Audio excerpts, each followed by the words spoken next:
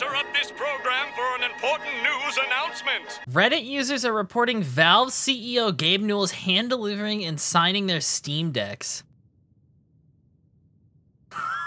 what the fuck? No way.